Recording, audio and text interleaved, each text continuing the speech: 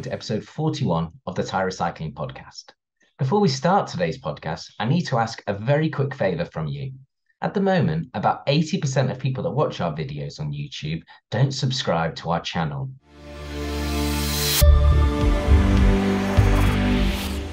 Today, in episode 41 of the Tire Recycling Podcast, we talk to Mars Minerals' Clayton Woodward and Craig Vaughan. Recently, Mars Minerals announced that they had won a contract to design and manufacture a new pin mixer for Warsaw, Poland-based Contec SA. People may remember Contec SA, who are another tire recycling podcast interviewee. Off the back of this, we thought it was a great opportunity to welcome Clayton and Craig to the podcast. So, without any further ado, let's get on with the interview. We hope you enjoy this episode. We'll just go straight into this. And uh, Clayton, if you would like to tell us a bit about who Mars Mineral are. Mars Mineral is a technology equipment supplier associated with agitation agglomeration. Take dust, fines, and powders, and we increase their sizes for to increase uh, material handling characteristics make material non-dusty, uh, and densify, the material. We work in a number of industries, uh, in particular RCB right now, but we also work in the fertilizer industry, uh, kitty litter. Uh, we're doing some work in the chicken manure industry. So a lot of different industries that produce a waste product uh, that's a dust, fine, or powder. Uh, we're able to help them repurpose that material uh, and reuse it.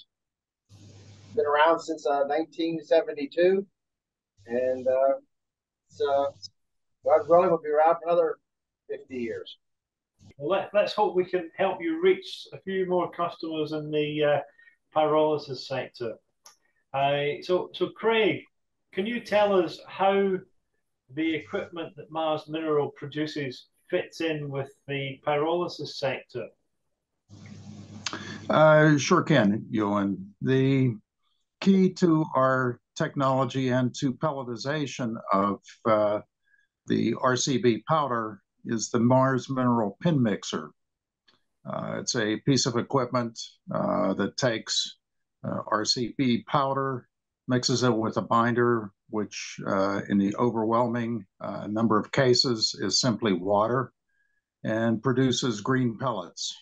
Uh, that are subsequently dried and uh, ready for uh, packaging and shipment to target customers. The Mars Mineral Pin Mixer has the unique capability of generating pellets in the size range, typically 125 micron to one millimeter size pellets, and requisite hardness, typically in the 20 to 50 gram force range that are required by rubber and plastics manufacturers in particular. And uh, so this is generated uh, on a continuous basis with the Mars Mineral Pin Mixer. Uh, so there are uh, a number of advantages operationally in terms of cost of manufacture using part uh, the Mars Mineral Pin Mixer as well as um, simplicity in the operation itself uh, to generate these pellets. You make it sound very simple, a very simple process. Um, are there any challenges to producing the uh, the pellets that the, the industry requires? Well, there are challenges that are faced with each uh, manufacturer producer's uh, particular powder. Um, feedstocks can vary from one manufacturer to the next. Pyrolysis conditions, pyrolysis equipment, uh, basically the upstream operations from pelletization can be quite variable. And those variations find their way into the nature of the powder that's generated from that process. Uh, consequently, uh, when you get to pelletization, uh, there are going to be some adjustments that are required in order to generate pellets uh, from a given manufacturer to meet specifications for the broader, uh, let's say, rubber industry uh, customers. And one of the things which, uh, again, is a fairly unique capability that Mars Mineral offers to its customers is our testing capability. So we can take a prospective customer's powder, uh, we can pelletize it in our facility. Uh, we have pilot scale equipment, and we can generate uh, pellets that will meet um, market specifications for the target industries. And so for each customer, essentially, we customize and optimize process conditions to be able to produce pellets that meet the uh, requisite industry standard uh, on a uh, consistent basis with high first pass yield, which is, I'm sure our customers are aware that that drives your cost of manufacturing and certainly drives profitability and pricing. The, feedstock that reaches the, pelletizer has to be of a, certain specification. Um, I, I, I take it that your pelletizer can't work magic on something that is not already close to specification. Uh, so, do you give guidance on how the pyrolysis operator can uh, improve the feedstock to the pelletizer? Well, I think one of the advantages of the Mars mineral pin, uh, pin mixer is that it is somewhat forgiving uh, in terms of the quality of powder that you know that is uh, put into the process at that point. Uh, we have pelletized a wide range of powder qualities uh, successfully uh, and been able to meet specifications. Uh, there's there's obviously some some key aspects of uh, powder generation that need to be followed from one uh, manufacturer to the next. Uh, consistency is the key. Um, you know, while the pin mixer will accommodate uh, fluctuations in manufacturing processes upstream, there are limits to what it can achieve and you know to what sins it can overcome uh, once the powder arrives. But certainly consistency in the feedstock, the process conditions, the milling conditions upstream of the pelletizer lead to uh, more consistent operation in the, in the pin mixer itself and in the results that you get from it. Now, in terms of some of the things that you might have been alluding to, um, you know, clearly North American manufacturers, uh, you know, feedstock tires tend to have lower silica content uh, than European tires. Uh, we've been able to accommodate, you know, both extremes. Asians kind of fall somewhere in the middle, and uh, you know, same with South Americans. Uh, so uh, you know, we can pelletize materials from across the globe uh, but consistency is you know, a key attribute of getting consi- you know, consistency in powder generation is key to getting consistent operation of the pin mixer itself and getting key or getting uh, consistent output uh, in terms of pellet quality. The consistency, I think, is, is something that the rubber compounders have uh, been insisting on. Uh, they, they need to have a consistent supply uh, and then they can work in the specification.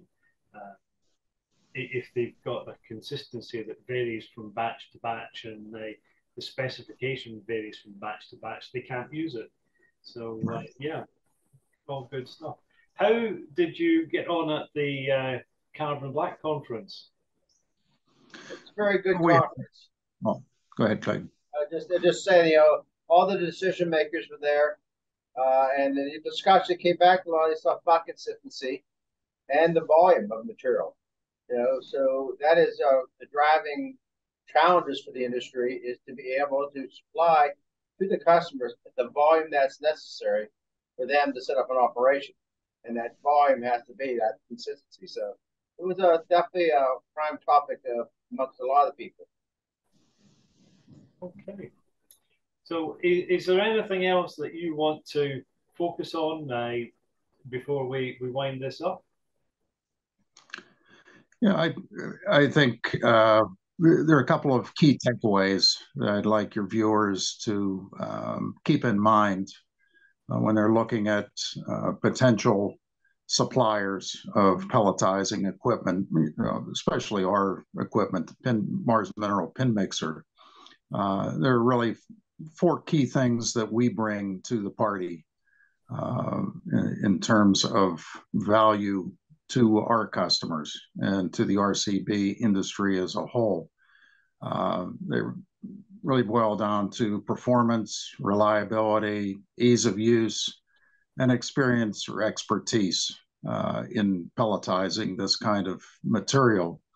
As I'd mentioned, from the performance standpoint, you know, we generate pellets that meet the requisite size and hardness specs for the target um, applications for our RCB customers. In terms of reliability, uh, our equipment is uh, manufactured to be uh, low requirement or excuse me, low maintenance requirements for the equipment.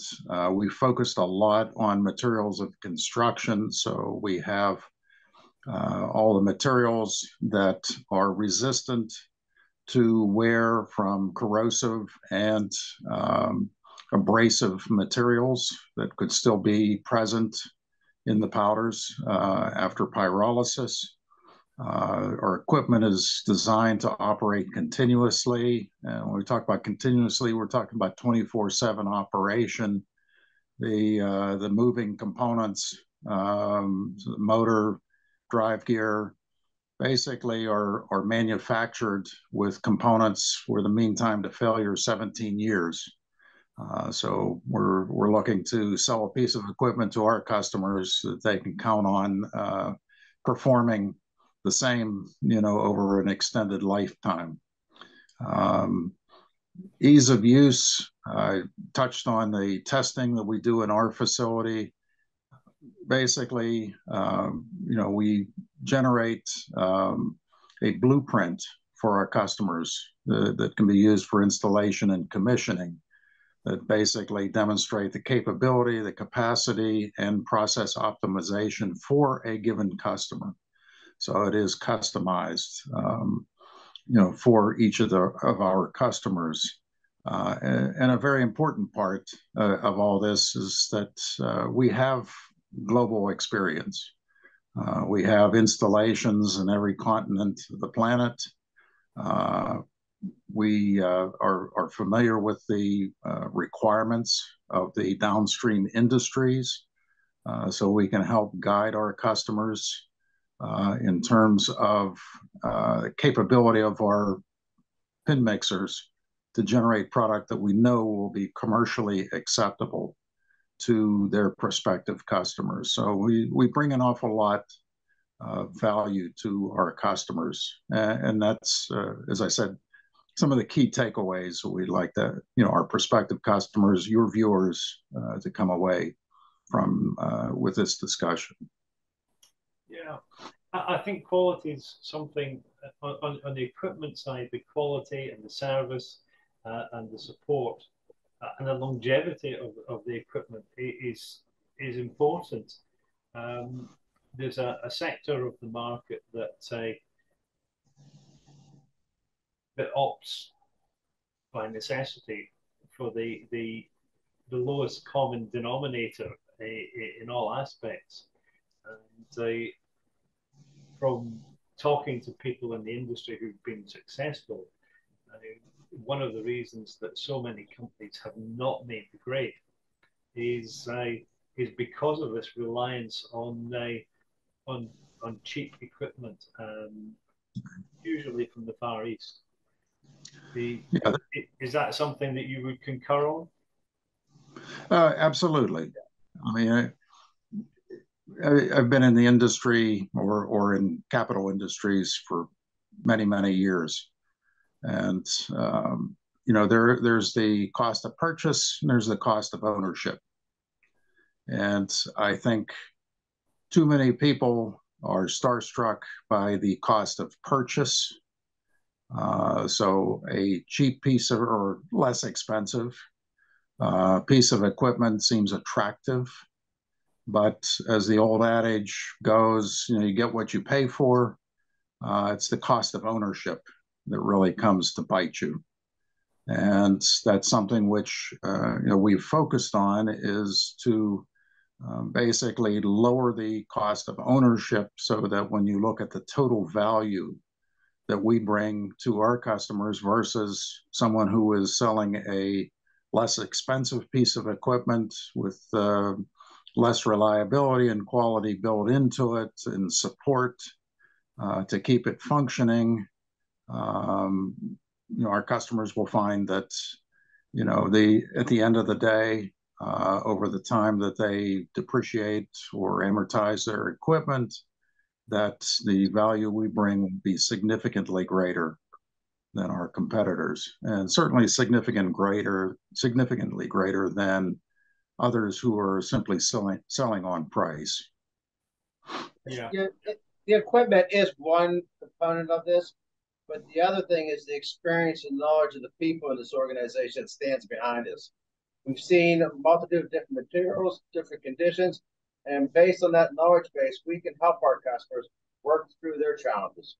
Because sometimes materials do change. And uh, with our experience and knowledge, we're here to help.